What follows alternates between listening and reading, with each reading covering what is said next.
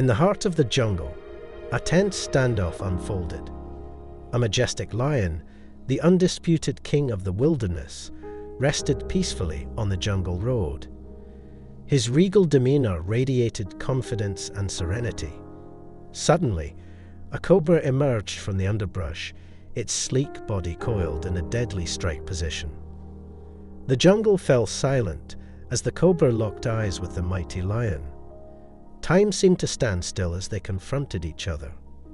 The cobra's venomous fangs gleamed menacingly, but the lion remained undaunted, a symbol of unwavering strength. As moments passed, something remarkable happened. The lion, without a hint of fear, continued to bask in the tranquility of the jungle, indifferent to the cobra's threat. It was a powerful display of dominance and calmness. Gradually, the tension dissipated. Recognizing the lion's unyielding composure, the cobra slithered away, defeated by the lion's unbreakable spirit.